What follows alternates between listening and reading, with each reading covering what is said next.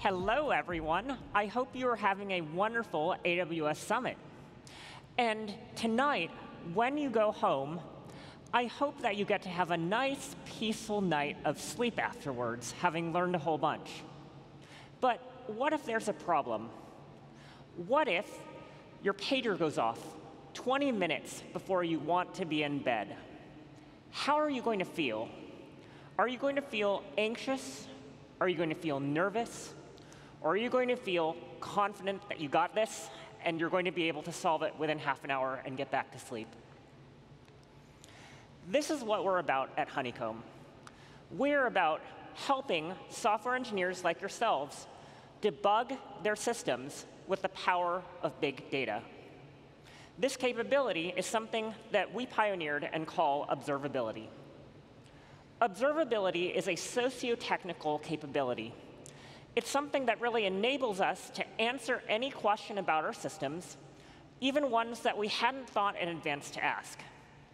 It requires us to add data and collect it and store it economically, and then to query it as quickly as possible when you need it the most.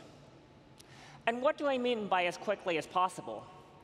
I mean, you should be able to answer any question in less than 10 seconds so you don't get distracted by going to get a cup of coffee, and so that you can keep on iterating on your train of thought.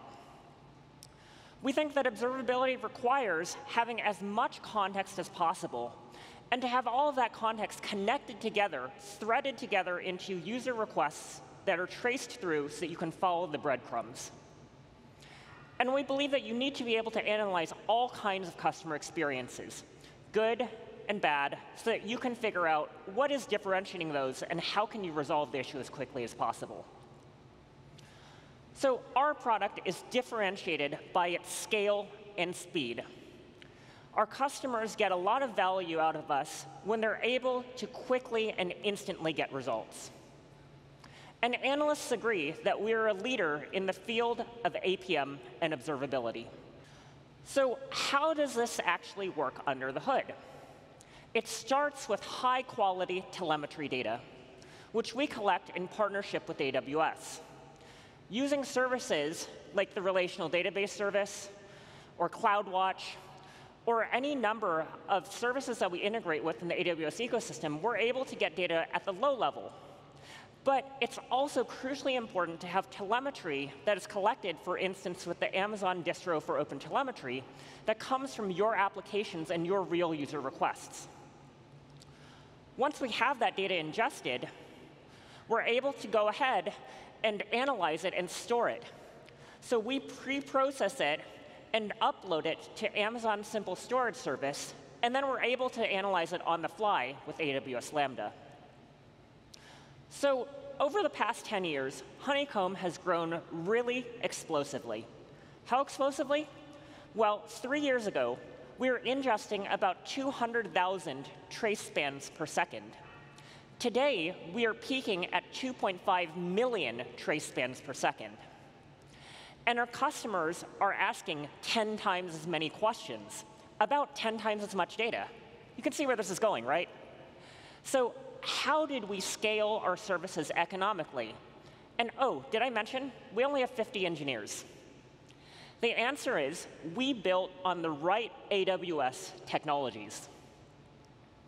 So this is what our architecture looks like. We have a combination of stateful and stateless services, and they're mostly written in Go, but you'll also find some Java and some uh, Node.js running in our stack. But all of these were able to be migrated onto AWS Graviton technologies. So let's start with the stateless technologies. So we use Amazon Elastic Kubernetes Service to manage our stateless workload. And the nodes that are powering it are EC2, C6G, and C7G instances, powered by Graviton 2 and Graviton 3. So let's take our ingest service, for instance. When we trialed moving from fifth generation EC2 instances to Graviton 2, we saw a 10% improvement in the median latency, that we're having many fewer tail latency spikes because the Graviton 2 processor is just much more efficient. And we're able to push much more load. But it gets better. Because when we did an A-B test of Graviton 2 versus Graviton 3, we found a further 10 to 20% improvement in tail latency and a 30% improvement in our throughput and median latency of our ingest services. And not only that, it turns out that this workload just bin packs much better with EKS and Graviton 3. That the CPU utilization is about 30% lower, which means we can push it a lot harder. And it turns out that you can compound this savings by using EC2 spot instances because the node termination handler in EKS allows you to just gracefully fail workloads over as, as EC2 spot terminates the instances. So we save money by being flexible. How does that work? Well, it turns out that when we went from fifth generation to sixth generation, we saved about 20%, and then we saved a further 20% when we adopted sixth generation instances powered by Graviton 2 with Spot. Our columnar data storage is powered by EC2 M6GD instances. When we switched from the i3 instance family to the M6GD instance family, tail latency went down by two thirds.